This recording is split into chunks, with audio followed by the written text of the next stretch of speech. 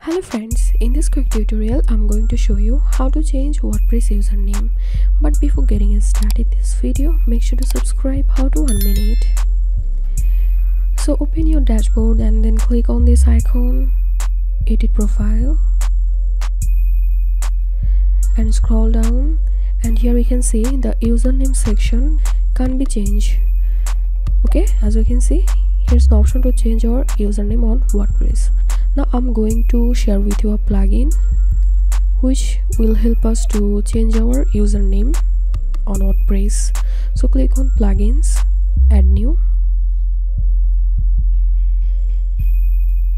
And in the search box search for easy username updater so here is the plugin. Click on install now.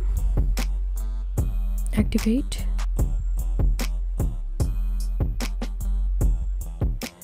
So here we can see the plugin is installed and activated. Now click on user. Username updater.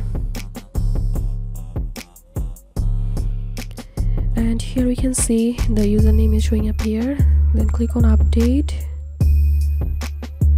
And now you can easily update your username. Suppose i'm going to give here admin2 and then click on update username. And here we can see username updated. So this was the way we can update our wordpress username. If you find this video helpful make sure to subscribe. How to one minute thanks for watching this video